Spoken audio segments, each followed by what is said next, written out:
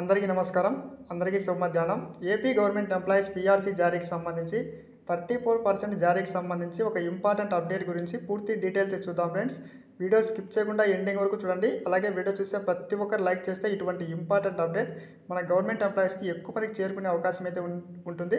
CM అయితే మనకి ఒక మంచి న్యూస్ అయితే చెప్పడమే జరిగింది. ఈ రోజు జరిగినటువంటి సమీక్షలో ఫ్రెండ్స్ పీఆర్సీకి సంబంధించి థర్టీ పర్సెంట్ థర్టీ ఫోర్ పర్సెంట్ని ఇక్కడ ఫిక్స్ చేస్తూ మనకి ఒక కీలక నిర్ణయం ప్రకటించడమే జరిగింది. ఫ్రెండ్స్ ఉద్యోగులు పెన్షన్లు సీఎం జగన్ సమీక్ష అంటూ చూస్తున్నాం పీఆర్సీ థర్టీ ఫోర్ పర్సెంట్ జారీ చేస్తూ మనకి సంచలన నిర్ణయం ప్రకటించిన సీఎం.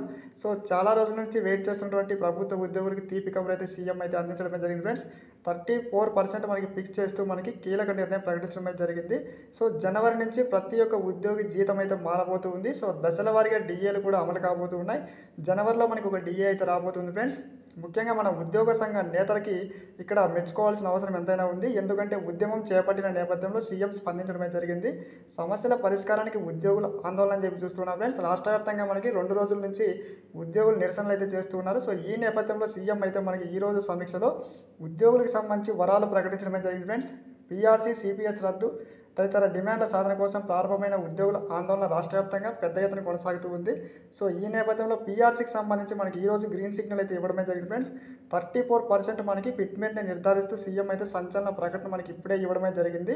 సో సిపిఎస్ రద్దుకు సంబంధించి సంబంధించి కూడా మనకి సీఎం అయితే సానుకూలంగా ఉన్నట్లుగా మనకి ఒక ఇన్ఫర్మేషన్ అయితే రావడమే జరిగింది ఫ్రెండ్స్ సో ఖచ్చితంగా రాబోయే రోజుల్లో ఖచ్చితంగా సిపిఎస్ కూడా రద్దు చేస్తామని చెప్పి మనకి సీఎం అయితే హామీ అయితే ఇవ్వడమే జరిగింది.